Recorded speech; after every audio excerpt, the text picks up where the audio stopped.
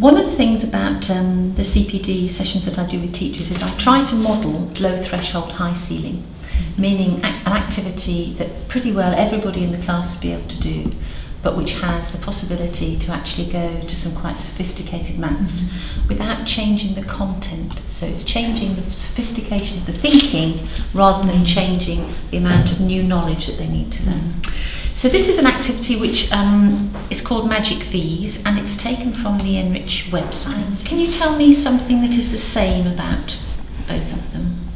They've all both got a number five in the top They've right both hand. got a number five in the top right hand And a side. three at the base. Both got a three at the base. And the t's in the same position. And the two's in the same position.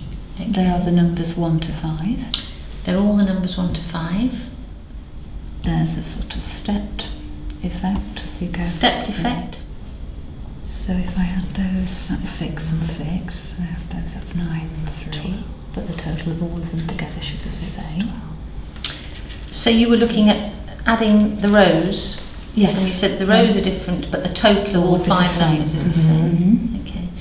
Okay. And I guess that if we spent another two or three minutes, perhaps we could see quite a lot of other things that are the same. Some of them may be trivial, like the fact that they're all on yellow paper, Mhm. etc. But some of them will be quite pertinent about, so in this particular pair, the five and the two and the three are in the same place. Okay. Mm-hmm. So one of the things, therefore, that you might say that's different about these two is that the four and the one are in different mm-hmm. places. Could you tell me something else that's different about these two? The totals, if you add them Yeah. diagonally, mm-hmm. are different. Explain that. If I add five, four, and three, it's not the same as five, one, and three. Okay. And, So this is five, four, and 3 Mhm. That's twelve, mhm, Mm-hmm. and that's Nine, um, yeah. nine or six. Sorry, I'm Six. looking. Okay. Sorry, I'm Yeah. comparing that to Oh, that. right. Okay. yeah. okay. Yes, I'm- right. So this one's yeah. twelve, and that one's Nine. Nine. And that Nine. one's nine, so they're both the same. Same. okay. And So this- what's both the same? The total, if I add them along the diagonal, is the, same if I go that way Okay. or that way. And This is the one I like, and I like this. I'm calling this a magic V. So Mhm. magic V is one where the numbers along one arm Mhm. add up to the same as the numbers Mhm. along another arm. Okay, so that's an example of a magic V. So what I'd like to know is, is that the only possible magic V using those five numbers? Okay, so I'll give you those, Pauline, and Joanna, there's a little set there for you. We're just looking to rearrange these numbers so that two arms add up to the same number.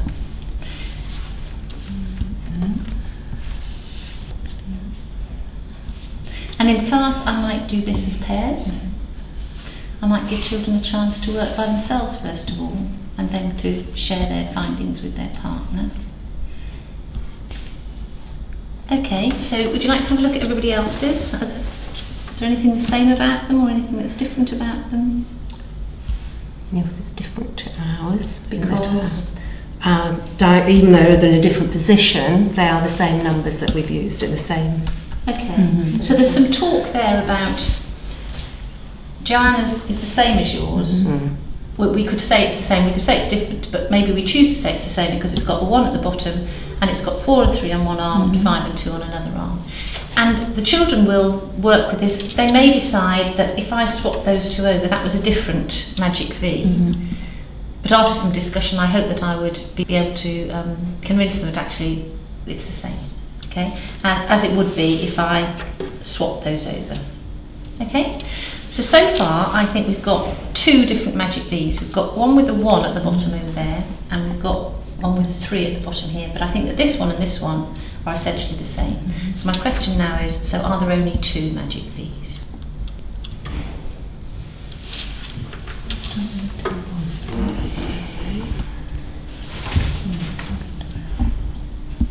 Say that again. That's not going to work. That's not going to How work. did you know? Because I knew that four and three is seven and five and one is six, Okay. so that, that couldn't work. Okay.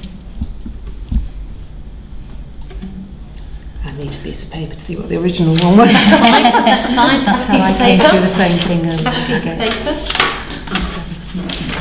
Joanne, do you want to record this in some way?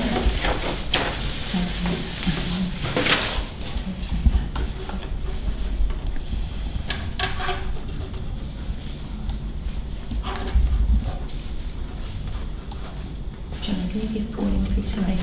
Pauline- Thanks very much.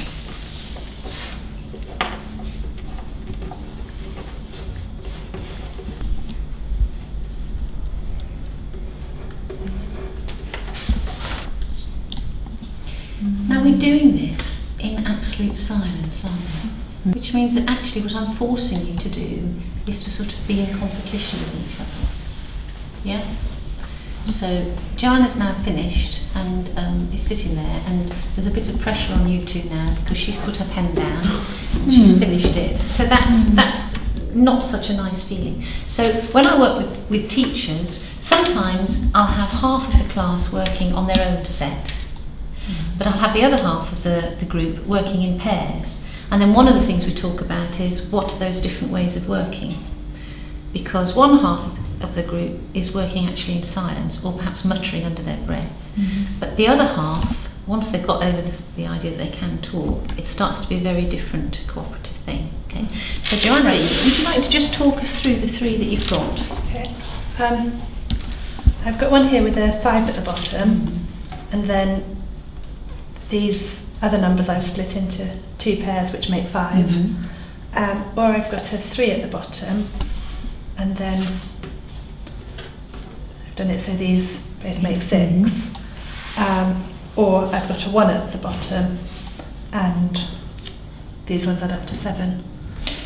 Now, you didn't move those just randomly. You had a very clear idea of what you were going to do. So, can you Yeah. tell us? Did you discover something, or did you, have you seen this before, or how did you know to do that? I worked out that if if this number at the bottom is odd, then because then what's left will add up to an even total, so I can split that into half. Whereas if this bottom number was even, I'd be left with an odd total, so I couldn't split that into half. So I chose to use the odd numbers, um, and then when I had my other numbers, I took the biggest one and the smallest one, and then the other two, and that worked. So, are you convinced of, about Joanna's explanation about the odd numbers at the bottom? Yes. So, Pauline, you just heard what Joanna said. Could you now say what Joanna said, but in your own words, to Joyce? What Joanna has said is that the numbers have got to add up to the same. If there's, if you want to end up with the same numbers, and you have numbers here, to get an even number, you're going to have to have. Oh, I've lost this now. You're going to have to have something whereby this is an odd number which adds to each of those. Okay. Would it be helpful to know what the numbers all added up to? What do they all add up to? 15. 15. Mm. Okay. So they add up to 15. So, Mm. Joanna, do you want to do you want to say that again? And then I'm going to ask Pauline to say to say again because what you said was fine, but it wasn't as clear as No, it wasn't. No. Okay, so the total of these numbers is Mm, 15. Um, and this number is being counted both ways. right. So I can sort of ignore it when I'm working out what to do here, Mm. as long as what I'm left with here is adds up to an even number. Because if this adds up to an even number, I can split it into two halves. hmm If it adds up to an odd number, I can't. Um, and because the total's 15, this one has to be odd to leave these four being even. So once I've taken my odd number, I've got an even number left, and I need to divide that by 2. So here they add up to 14, so this one will add up to 7, and this will add up to 7. And then add the 1, they make 8. Right. I know that the total of these numbers altogether will be 15, which is an odd number. So I know if I have this number here as an odd number, because it's going, this is going to be in both of them, I'm going to need a pair of even numbers here and here.